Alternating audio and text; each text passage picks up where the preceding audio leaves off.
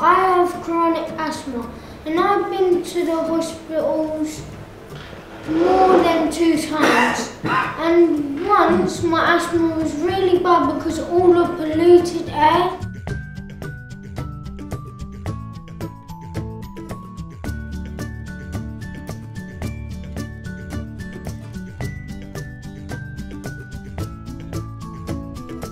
As Alfie said, there are like a lot of children in here that have asthma. I think Exactly 9.5 um, percent of the children at our school have So asthma. what was the percentage again? 9.5 percent. 9.5, so one in, about one in ten of you. So it's very, like that isn't very good.